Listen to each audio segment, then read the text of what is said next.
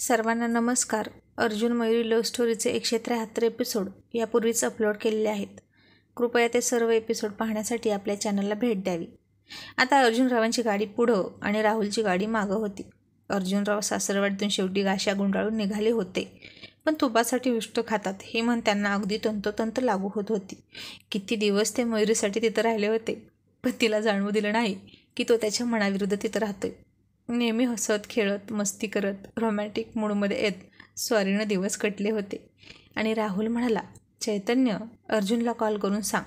आणि सांग की पुढे थांब चौकात. चैतन्य म्हणाला का रे? काही काम आहे आता? राहुल म्हणाला अरे पत्रिकेचा मॅटर तयार आहे तर देऊया ना छापायला. म्हणजे त्या लगेच छापून मिळतील आणि आपल्याला त्या वाटण्यासाठी वेळ मिळेल. आणि डिझाईनसुद्धा सिलेक्ट करू जाता जाता. आणायचे अर्जुन आहेच सोबत. मग त्याच्या आवडीची डिझाईन करू. सिलेक्ट. आधीच भाड्या मुलखाचा चोखंदळ लवकर काही पसंत करत नाही. आणि चैतन्य म्हणाला हो ना त्याला फक्त त्याच्या बायकोच्या साड्या आणि लिपस्टिकची शेड पटकन चॉईस करता येते. तिला काय शोभून दिसतं हे त्याला माहीत आहे. पण चैतन्यने त्याला फोन केला आणि म्हणाला अर्जुन पुढं जाऊन चौकामध्ये थांब. तसा अर्जुन तिथेच पटकन थांबला आणि राहुलची गाडी त्याला टच होता होता राहिली. अर्जुननं आरशातून ते बघितलं. बाहेर तोंड काढलं म्हणाला राहुल्या तुला रात्री कमी पडतं का? म्हणून आता माझ्यावर चढायला लागलास? माझ्या गाडीवर चढला असतास की माकडा आता? तुला डिस्टन्स ठेवून गाडी चालवता येते की नाही? सुरक्षित अंतर वगैरे काही ऐकलं नाहीस का काय तू कधी? आणि राहुल म्हणाला पण अर्जुन तुला असं जागेवर ब्रेक मारायची काय गरज होती का? तुझ्यापुढं काय एवढा साप निघाला होता का काय?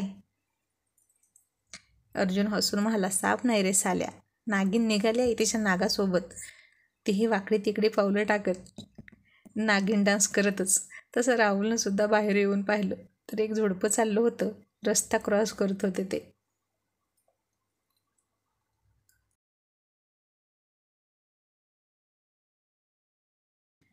तिच्या पायात उंच टाचेचं सँडल बेबी शोणा करत निघाली होती. आणि तोही तिच्या मागं मागं निघाला होता नंदी बैलासारखी मान हलवत.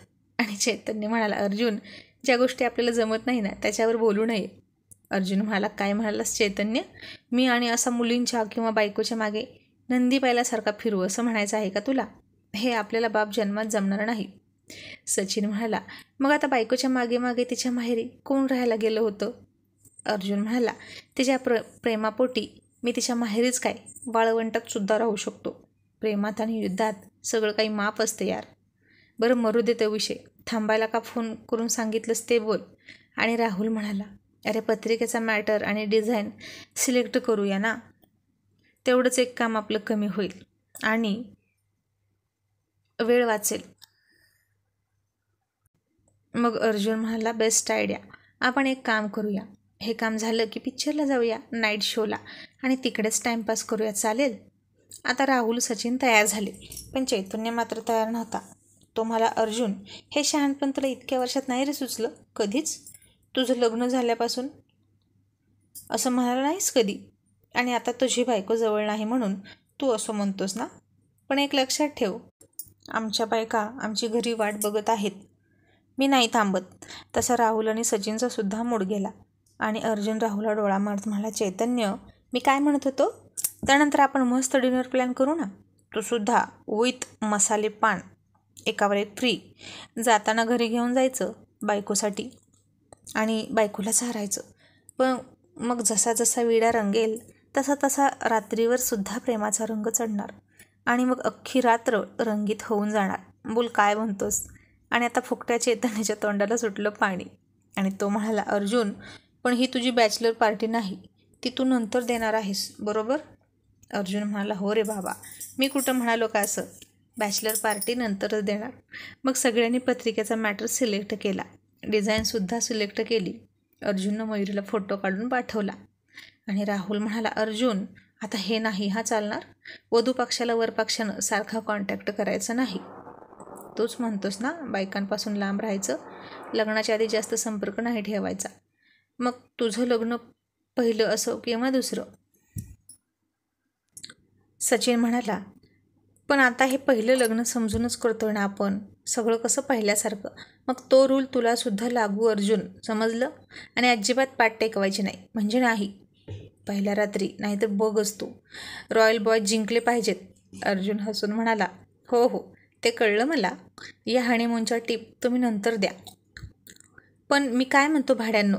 तुम्ही पहिल्या रात्री पाठ टेकवली की नाही टेकवली? हे मला कसं माहीत?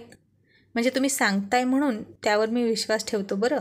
पण असंही होऊ शकतं की तुम्ही शांतीत क्रांती करून यायचा गुलकंद खाऊन आणि माझ्या हातात क्रांतीची मशाल द्यायचा आणि मी आपला रात्रभर ती हातात धरून माझ्या बायकोकडे टकमक पाहत बसायचो. आपल्या रॉयल गँग ग्रुपचा एकनिष्ठ मेंबर म्हणून तसा राहुल हसला आणि म्हणाला तुझं सगळंच चूक आहे. असं नाही म्हणणार मी. बरं का अर्जुन पण मी तरी तू दिलेल्या टिप्स फॉलो करतच होतो. पण यार कुठंपर्यंत जर समोरच्या गुळाच्या खड्याकडे टकमक बघत बसायचं? त्याची चौतर घेतलीच पाहिजे ना. आणि बायका घाबरलेल्या असतात यार. पहिल्या रात्री समजून घ्यायला नको का?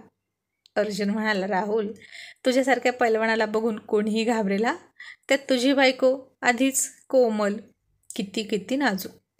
तुमचं कसं जमतं यार काय माहीत? चैतन्य म्हणाला जमतं.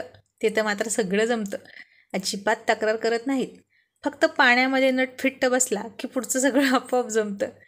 तसे सगळे असले आणि राहुलनं चैतन्याच्या पाठीत धपाटा टाकला आणि म्हणाला आणि तू नाही का? तुझा नट फिट बसवत भाड्या किती फाजील बोलशील? चैतन्य म्हणाला आता मुळाक्षराच्या बाहेरचं मी काहीतरी बोललो का रे अर्जुन? आणि राहुलच म्हणाला तू पण दीडशे आणा आहेस. कुणाला विचारतोस? फाजील विद्यापीठाच्या कुलगुरूला.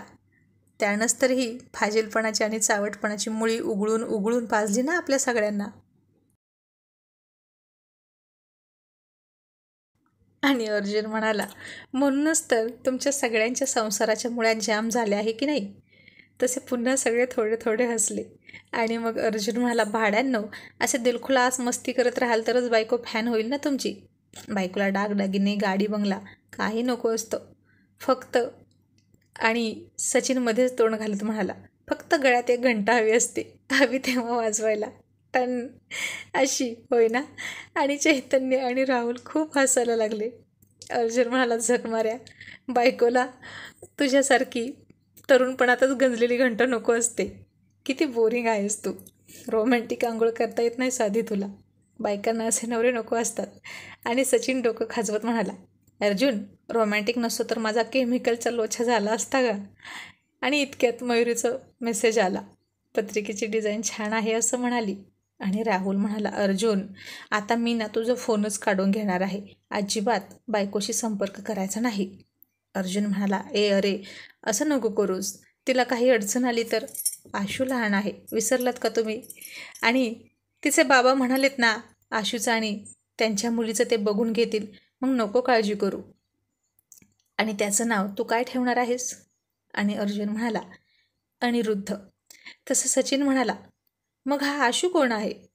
अर्जुन म्हणाला आशू उर्फ अनिरुद्ध. कळलं? आणि हे बायकोला सुद्धा माहीत नाही. तिला कळणार डायरेक्ट बारशात.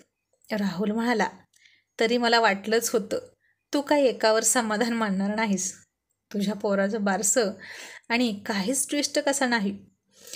पण तुझं पोरगं एकंदरीत पाहता अनिरुद्धपेक्षा फणिरुद्ध जास्त असणार आहे.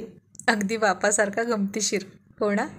तसे आता सगळे हसायला लागले आणि त्याला अनुमोदन देत म्हणाले म्हणजे काय? वादच नाही.